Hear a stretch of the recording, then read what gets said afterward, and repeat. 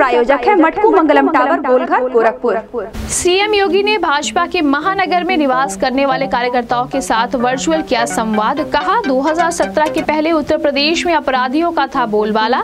अपराधियों को संरक्षण देने का काम करती थी समाजवादी पार्टी की सरकार। सपा ने पूरे प्रदेश में मात्र अठारह हज़ार बनाया था आवास जबकि योगी सरकार ने केवल गोरखपुर महानगर में बनवाए हैं बत्तीस हज़ार गरीबों के आवास।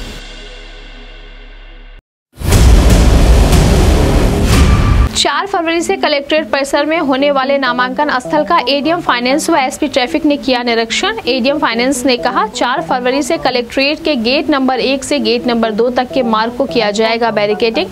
प्रत्याशी व अधिकारियों की ही होगी एंट्री।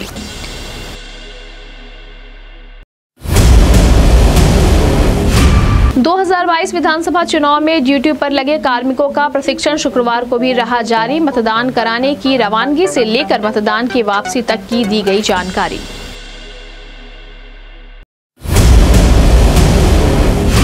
जनपद में सपा के द्वारा नौ विधानसभा में एक भी मुस्लिम प्रत्याशी को टिकट ना देने से सपा नेता एडवोकेट हिफ्जुल रहमान अजमल ने सपा का झंडा जलवाकर किया विरोध प्रदर्शन।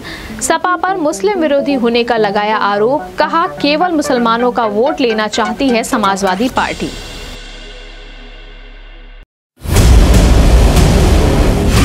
रेलवे स्टेशन के हाईजैक करने की सूचना पर शुक्रवार को बढ़ाई गई स्टेशन की सुरक्षा, आरपीएफ प्रभारी ने कहा, उपद्रवियों द्वारा बिहार और प्रयागराज के उपद्रव के बाद जनपद में रेल रोकने की मिली थी सूचना।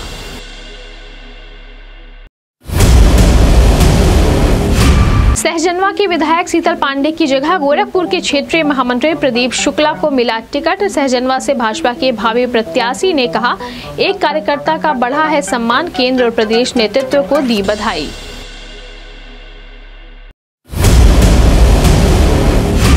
पुलिस अधीक्षक यातायात की अध्यक्षता में यातायात व्यवस्था को सुदृढ़ बनाने के लिए मीडिया के साथ आयोजित किया गया गोष्ठी। कहा, मीडिया के तरफ़ से आए हैं बेहतरीन सुझाव, उनको उतारेंगे धरातल पर।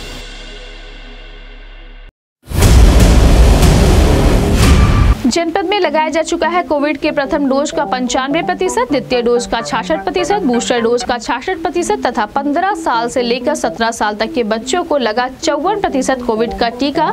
सीएमओ ने कहा, कोविड प्रोटोकॉल और सोशल डिस्टेंसिंग का करे पालन रहे सुरक्षित।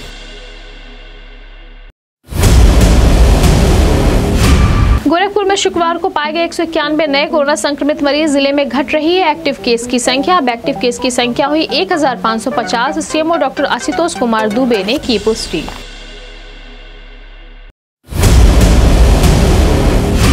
और जनपद में अगले तीन दिनों तक रहेगी ज़्यादा ठंड। एडीएम फाइनेंस राजेश कुमार सिंह ने दी जानकारी।